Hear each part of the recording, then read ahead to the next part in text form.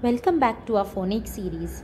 As we have just done short A and long A, so these are the examples how we can read short A and long A.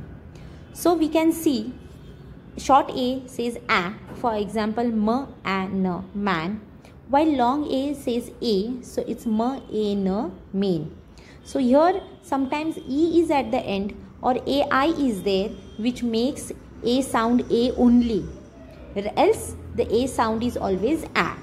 So I'll just read out, listen to carefully.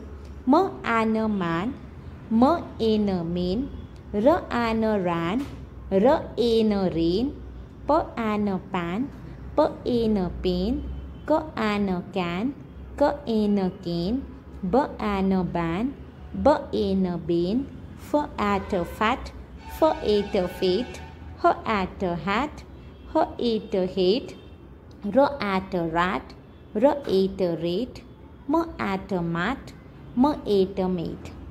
Same way here also short a and long a is there. Short a says a, long a says a. Again here e is making the long a sound for a.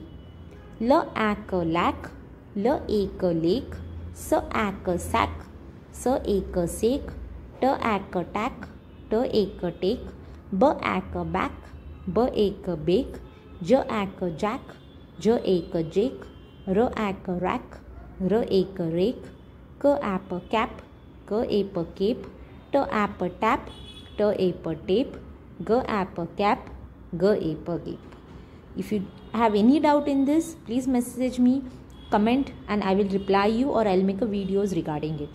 Thank you for listening. Keep reading.